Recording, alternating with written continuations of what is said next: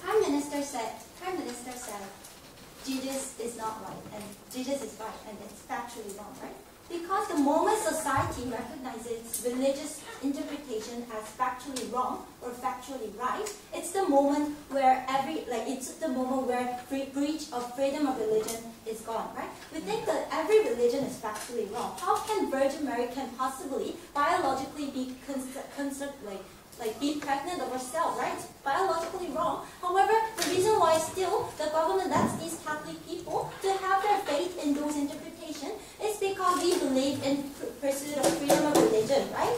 First of all, rebuttal. They start talking about how white Jesus will push out, you know, race-colored like Christian believers, right? We think this is not true because white Jesus is not dominant narrative to begin with. It's only a portion of Christian community that wants to have a different perspective regarding interpreting Bible verses, right? We think still the vast majority of people recognizes or even atheists that Jesus is from Hebrews, right? Why is this so problematic? On the second level, they start talking about how, you know, increasing participation based on similarity is bad, right?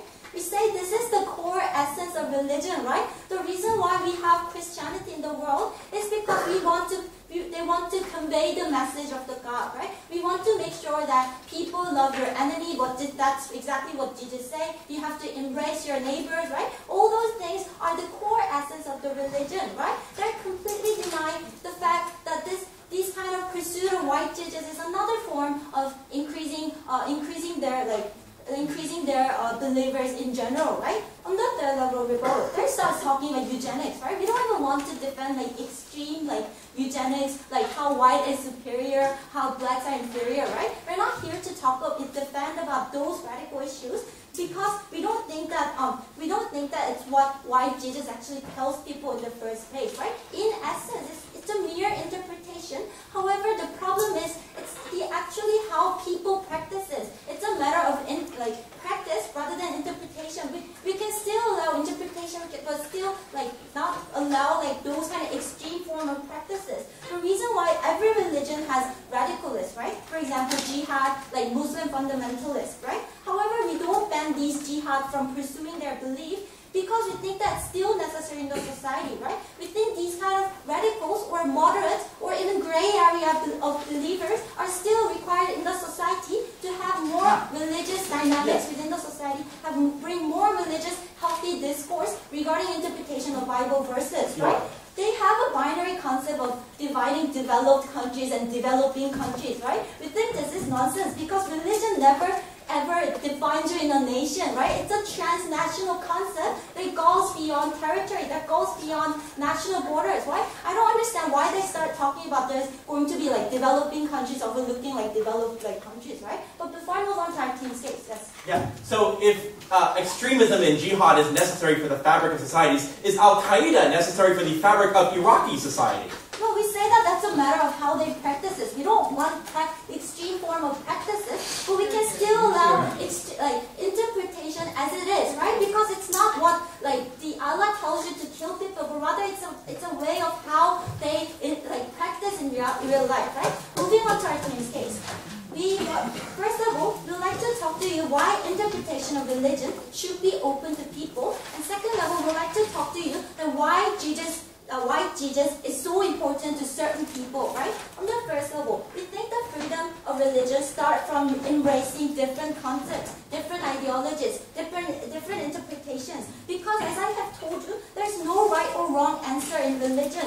It's not a unilateral, uh, like no unilateral interpretation actually exists in religious realms because it's open to believers based on how they feel it. The degree of faith, degree of belief that they would like to pursue is so diverse that the certain entity, even society or government or even church cannot measure it for individual believers to pursue to what extent, right? Because it's so subjective. When these, no thank you, when these kind of um, different ideologies coexist, we think that there would be more development of diverse branches within Christianity as well. We have like Methodists, we have Calvinists, we have Baptists. These are the all like results of having diverse healthy discourses regarding interpretation of one Bible, right? We think people now now then can have more options to choose from that best fits for their religious beliefs, right? That is most suitable for themselves to secure like emotionally, to secure from their secular life, right?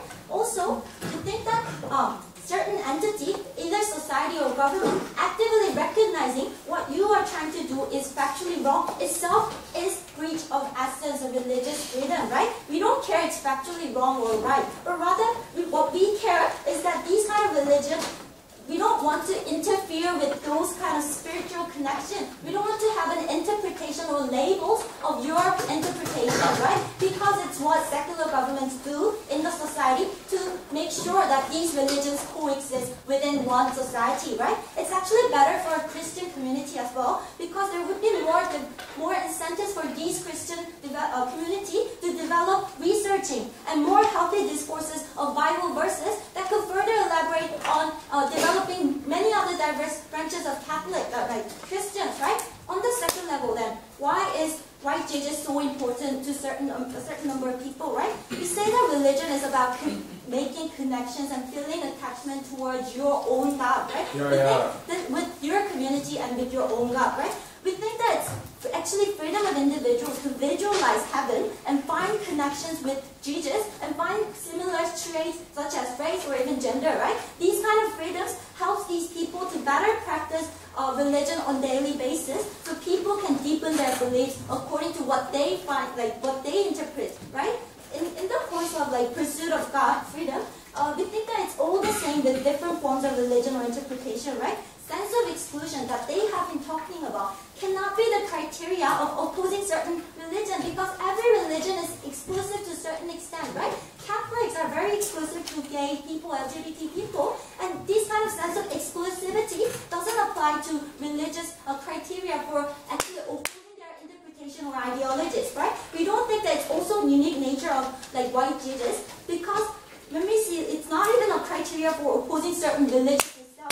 Because when you look at nationalism, you arbitrarily set a standard, a, a symbol, a flag or like a tree or to believe in your like, patriotism, right? I think these kind of sense of exclusivity is fundamental drive of pursuing your belief. Therefore, we're extremely proud to oppose.